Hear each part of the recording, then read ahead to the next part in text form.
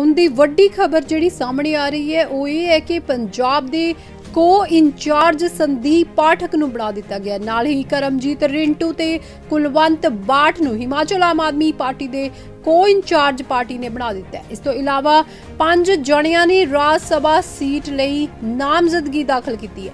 Aam Aadmi party ਨੇ ਰਾਜ ਸਭਾ ਲਈ ਐਲਾਨੇ ਸਾਰੇ ਨਾਮ ਐਲਾਨ ਕਰ ਦਿੱਤੇ ਨੇ, ਜਿਸ ਵਿੱਚ ਰਾਘਵ ਚੱਡਾ ਸਭ ਤੋਂ ਪਹਿਲਾਂ ਰਾਜ ਸਭਾ ਜਾਣਗੇ। ਪੰਜਾਬ ਦੇ ਸ਼ਹਿਰ ਇੰਚਾਰਜ ਰਾਘਵ ਚੱਡਾ 2020 ਚ ਦਿੱਲੀ ਦੀ ਰਜਿੰਦਰ ਨਗਰ ਵਿਧਾਨ ਸਭਾ ਸੀਟ ਤੋਂ ਪਹਿਲੀ ਵਾਰ ਵਿਧਾਇਕ ਚੁਣੇ ਗਏ ਸੀ। ਇਸ ਤੋਂ ਪਹਿਲਾਂ ਉਹ ਪਾਰਟੀ ਦੇ ਖਜ਼ਾਨਚੀ ਵਜੋਂ ਕੰਮ ਕਰ ਚੁੱਕੇ ਨੇ। ਦੂਜੇ ਨੇ ਕ੍ਰਿਕਟਰ ਹਰਭਜਨ ਸਿੰਘ, ਉਹਨਾਂ ਨੂੰ ਵੀ ਰਾਜ ਸਭਾ ਦੀ ਟਿਕਟ ਮਿਲੀ ਹੈ। ਕ੍ਰਿਕਟ ਤੋਂ ਸਿਆਸਤ ਦੇ ਮੈਦਾਨ ਵਿੱਚ ਕਦਮ ਰੱਖਣ ਜਾ ਰਹੇ ਹਰਭਜਨ ਸਿੰਘ ਭੱਜੀ ਪੰਜਾਬ ਦੇ ਨਵੇਂ ਮੁੱਖ ਮੰਤਰੀ ਭਗਵੰਤ ਮਾਨ ਦੇ ਬੇਹੱਦ ਕਰੀਬੀ ਮੰਨੇ ਜਾਂਦੇ ਨੇ।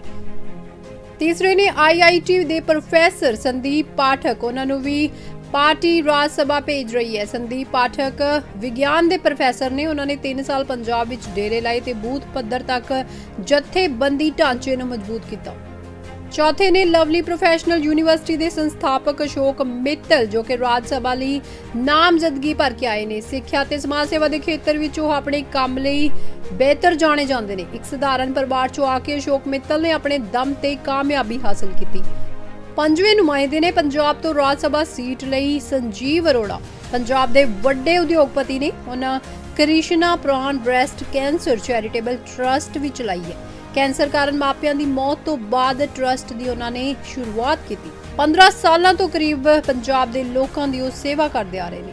ਸੋ ਇਹਨਾਂ ਸਾਰਿਆਂ ਨੇ ਅੱਜ ਵਿਧਾਨ ਸਭਾ ਪਹੁੰਚ ਕੇ ਆਪਣੀ ਨਾਮਜ਼ਦਗੀ ਦਾਖਲ ਕਰ ਦਿੱਤੀ ਹੈ। ਇਸ ਮੌਕੇ ਪੰਜਾਬ ਦੇ ਮੁੱਖ ਮੰਤਰੀ ਭਗਵੰਤ ਮਾਨ ਤੇ ਕੈਬਨਿਟ ਮੰਤਰੀ ਹਰਪਾਲ ਚੀਮਾ ਵੀ ਮੌਜੂਦ ਰਹੇ। ਰਾਜ ਸਭਾ ਦੀਆਂ ਪੰਜ ਸੀਟਾਂ ਅਗਲੇ ਮਹੀਨੇ ਖਾਲੀ ਹੋਣੀਆਂ ਨੇ। ਰਾਜ ਸਭਾ ਚੋਣਾਂ 31 ਮਾਰਚ ਨੂੰ ਹੋਣਗੀਆਂ।